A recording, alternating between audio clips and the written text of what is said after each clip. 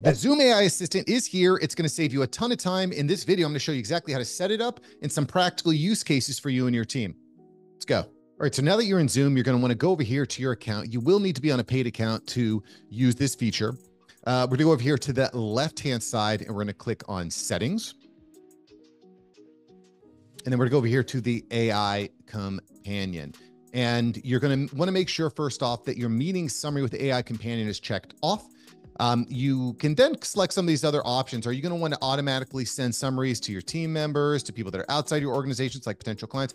I'm not doing that right now. As you can see, it's only checked off to give me the meeting summary notes. You could do that though, if you liked. You know, for me, when I'm sending out anything that's AI generated, I generally want to at least put some eyes on it or make sure one of my team members has put eyes on it first because, you know, we don't want to send out anything that's not accurate, right? So next, meeting questions with AI companion. You definitely want this checked on. This is a big deal. I recommend it for all participants. This is where you're going to save the most time. And what it does is allow hosts and invited participants to ask questions to AI companion during the meeting. So some of the questions you might ask would be things like, could you catch me up to speed? Has my name been spoken to? What are some action steps that I need to take based on this meeting? You know, I don't know about you, but if you've ever been in a Zoom meeting before, there's always somebody who shows up late watching you, Jim. I'm watching Jim. No, I'm just kidding. I'm not shouting at anyone. But there's always someone that shows up late, and they're always it's a disruption. They show up, they're like, "What did I miss? Has my name been called?" Blah blah blah blah blah. All they need to do now is go in and ask the AI companion. We're going to show you how that how that looks in just a moment as well. So, at any rate, uh, you want to make sure that's checked on. I recommend all participants, and not only from when they join, but all participants from the entire meeting. Because again, if they miss something important, you want the AI companion to tell them what they missed. Uh, smart recording with AI Companion. By enabling it, your cloud recording will have recording highlights, summaries, smart chapters, next steps, meeting coach, technology, et cetera, et cetera.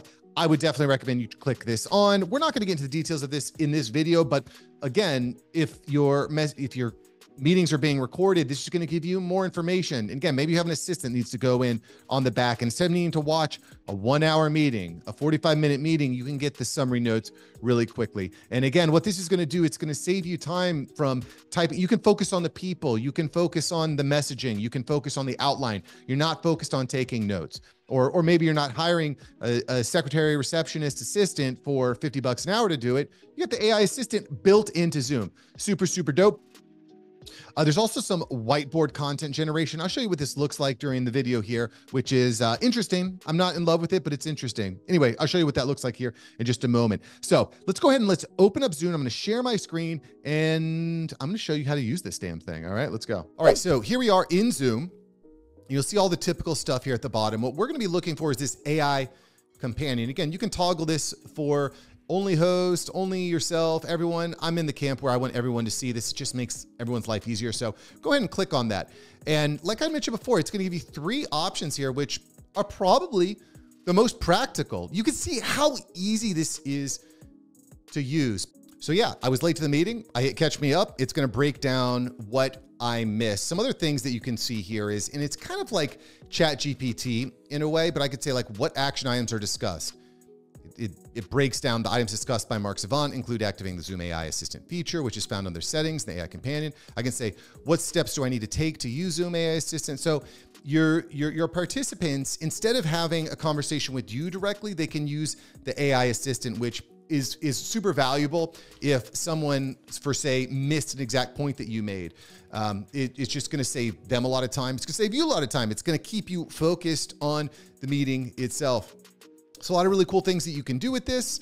Um, I like the action steps, uh, just a lot of cool things you can do. The other thing that was rolled out as well is this whiteboard feature and using AI to create whiteboards, which is pretty interesting. It's pretty interesting. I'm, you know, I haven't really found huge useful for it, but there's a cool, there's a few different things you can do. So like generating stickies, right?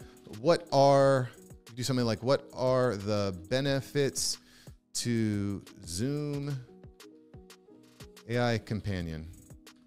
So, you know, what's interesting about this is all the information that's gathered here, all the information that's gathered uh, is gathered from the inputs of the meeting itself. It's not like going out around the web and finding stuff. You're getting stuff from within the meeting, right? Enhanced productivity, improve decision making, et cetera, et cetera. Super, super interesting. Um, what else can we do here? So we're going to go ahead and close this out. We're going to make another whiteboard. We could do something like a uh, flowchart, for example, right? What are the steps to activate and use Zoom AI Assistant?